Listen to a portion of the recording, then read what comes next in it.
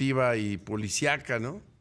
Lamentablemente hoy se desarrollaba con todo lujo de alegría, de vítores, de festejos allá en Kansas City, pues eh, el desfile para halagar a los eh, Chiefs, los brillantes campeones del Super Bowl 58, y ya casi cuando terminaba este desfile, en una estación del metro allá de Kansas City, la estación Union, comenzó un tiroteo, hay varios heridos, la policía de Kansas City aún no emite un veredicto oficial, en sus redes sociales subió que se había detenido a dos personas armadas y que ciertamente había habido varios eh, lesionados, aún no se sabe más.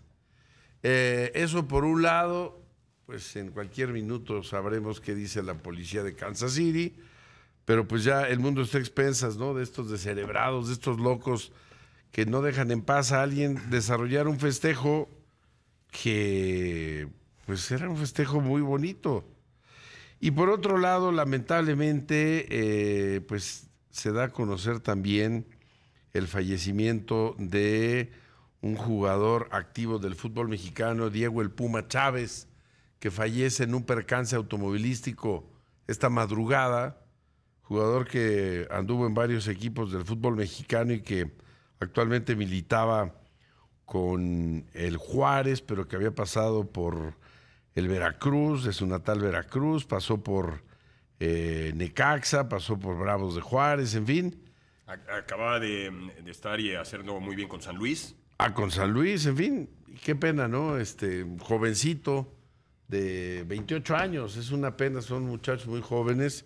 Murió a la una de la mañana, no sabe más, mi estimado señor Veraza. Lamento tener que empezar hoy Palabra del Deporte con este tipo de información, pero bueno, pues lamentablemente también es el mundo un poco cuesta arriba, un poco extraño que, estamos viviendo y que incomprensible. No sé si viste las tomas aéreas de helicóptero.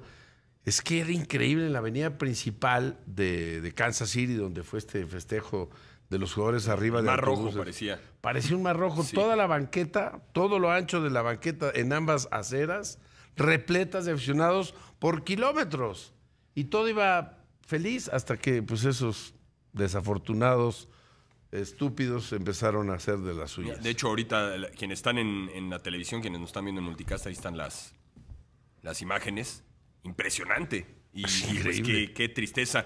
Que, eh, es común que este tipo de, de, festejos o momentos después de un gran partido, de un gran evento, eh, terminen mal. En algunas ocasiones con disturbios en la ciudad al momento que, se da la coronación. En Las Vegas, gran dispositivo policíaco. Me llamó la atención. No, supimos nada. No se supo nada de Kansas City.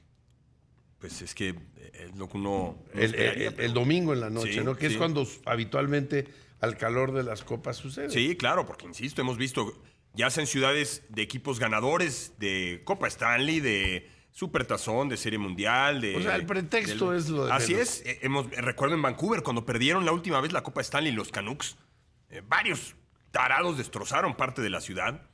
Y pues ahora, como dices tú, iba todo bien, todo tranquilo, festejando en Kansas City, eh, Missouri, una ciudad que por muchos años fue una de las cunas, de los lugares más importantes en cuanto a la música en Estados Unidos, lugar de blues, lugar de jazz, y que ahora se ha convertido en casa de pues la franquicia más exitosa del deporte profesional en los Estados Unidos, con estos jefes que pues están viviendo una época increíble y, pasa eso y le, le quita eh, el brillo a un festejo muy merecido para los jugadores, para los dueños, la familia Hunt y por supuesto para la ciudad que, que pues siente al equipo como suyo. Es una de las mejores aficiones que hay en el deporte a nivel mundial, diría yo, la de Kansas City. Es impresionante el apoyo. me ha tocado eh, ver durante pues, muchos años a los jefes pasar por momentos difíciles.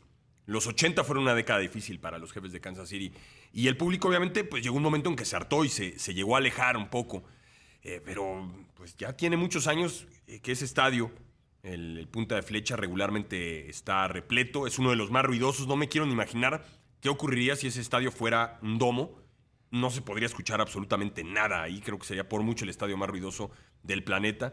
Y pues qué pena esto. y Que lo ya le urge al Arrowhead un le- ya, ya es un estadio, es un estadio bastante viejo. Quizá junto con el Soldier Field y el de los Packers, de los más viejos de la liga. Sí, es del de- 73. Sí, sí, obviamente el Soldier Field y el Lambeau Field pues son todavía mucho más viejos, son los Sí. estadios más viejos que hay en la NFL, pero pues ya para lo que hoy es el deporte en Estados Unidos, un estadio de los 70, pues ya es un ya es un estadio viejo, ya, ya lo quisieran muchos equipos en el fútbol aquí en nuestro Sí. país, un estadio de ese nivel, pero ¿Y para la dices? NFL Hoy el Real Estelí visita al América en el hermoso y muy novedoso Estadio Olímpico de la Ciudad de los Deportes, inaugurado en el 46. ese, ese sí está, está más viejo. El del Real Estelí está bonito el estadio.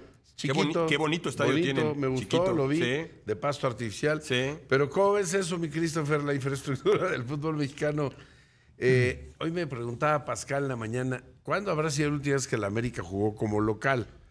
Porque ciertamente en tiempos de Cruz Azul, ahí fue una final, en tiempos de, de- del Atlante, pues habrá ido de visita. Pero el América, allá a finales de la década de los 40, pues cuando ya empezó a, crecer este, este equipo, seguramente jugó en, en el Estado Olímpico de la Ciudad de los Deportes como local, principios de los 50, y luego jugó el América como local en Ciudad Universitaria Es correcto. en el estadio de los Pumas. Ahí fue el América, lo, lo- lo utilizó algún tiempo, hasta que obviamente Ahí se fue erigió- campeón con un gol olímpico. Sí, cómo no. Sí, hasta que se erigió el Azteca en el 66, pero digamos los 60 principios América jugaba en CEU, pero hay que revisar el dato si jugó, a ver si los amigos del público saben si el América llegó a jugar de local finales de los 40, principios de los 50 en el estadio de la Ciudad de los Deportes, que está hermoso, ¿no? Es, es un ícono, tiene así una fachada medio, medio art este,